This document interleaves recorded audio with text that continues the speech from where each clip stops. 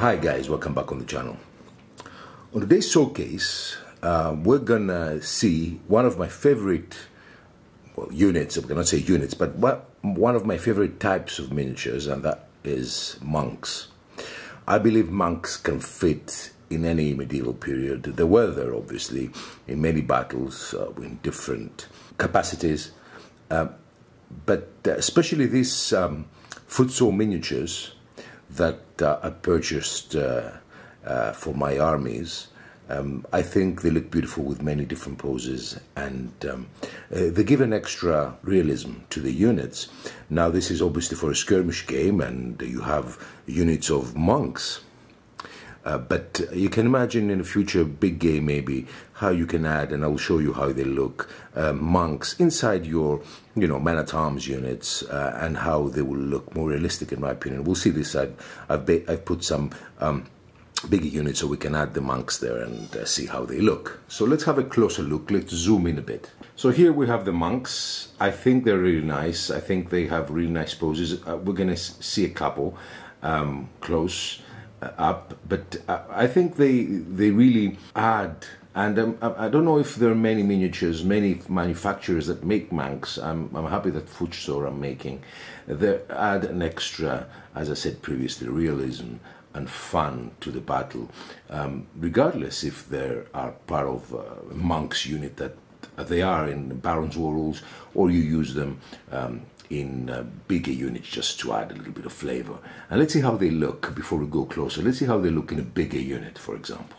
So, what do you think? I think, first of all, um, a large uh, unit of uh, Baron's War mix of men at arms and sergeants and, and, and generally foot um, looks brilliant. And there is something I'm going to uh, investigate how we can um, play Big Baron's War battle and what rules are available that we can use.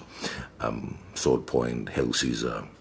Um, maybe uh, you can use other rules that I'm not aware of, maybe uh, Days of Knights, or there is Army of God uh, that is specifically for this type of uh, units for this period. And it's showcased all these are showcased on the channel.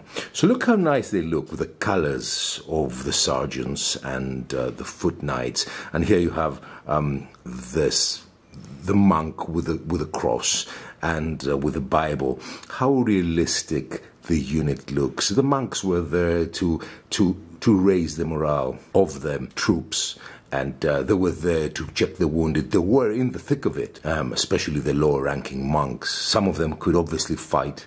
So I think, if we zoom in a bit, I think they look beautiful. They break the color a bit uh, with their brown or gray or whatever color you want to paint them. Um, cross and you know Christianity and uh, religion was a big part uh, of the morale and of um, you know of the battles of those days. Okay, especially in the Middle Age, in the in the Middle East, but even here, um, and I think they look really brilliant together uh, with um, the remaining um, foot knights and uh, foot sergeants. And here, as you can see, the other monk with the Bible. I, I think they fit really well. I am going to venture and see how we can play Big Battle Baron's War. So let's have a look and uh, closer look and see um, the a little bit the monks just uh, in a closer um, proximity and see how they look. These footsore monks. So let's have a look uh, at some of the monks. These look very nice. I like the poses. Um, we'll see quite a few, but I like the poses. It's, it's really nice that Footsore created this, uh, these monks. I like them a lot. Um, these are militant monks, if you're uh, going to use um, the army list uh, name. So let's see a few more. Two more very nice poses.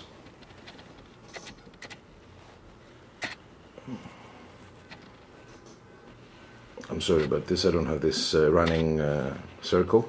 We're turning circle.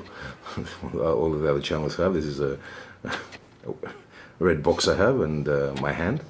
Um, they look really nice, I think. They look really beautiful. And let's see a couple of more, two more.